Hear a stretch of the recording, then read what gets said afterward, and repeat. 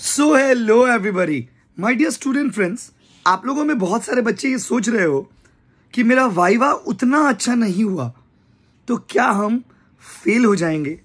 और क्या कोई वाइवा में फेल होता है? अब ये देखिए, कोई फेल अब इन सारे सवालों का जवाब मैं इस छोटे से वीडियो में आपको दे रहा हूँ। प्रोबेबली आपके जो डाउट्स है वो क्लैरिफाई हो जाएँगे। पहले तो my dear student friends viva में नॉर्मली कोई फेल नहीं होता है।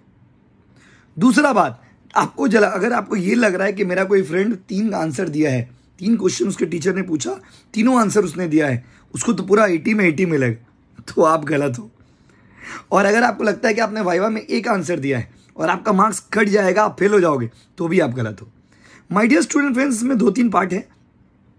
असाइनमेंट है प्रैक्टिकल है वाइवा है, इन सारा चीज़ को मिला करके on an average sixty seventy आपको मिल जाता है। तो आप उतना चाप मत लिया करिए, उतना टेंशन मत लीजिए। रिलैक्स होकर के फिनेंशियल रिपोर्टिंग और फिनेंशियल मैनेजमेंट का प्रिपरेशन करिए रिवीजन करिए, ठीक है?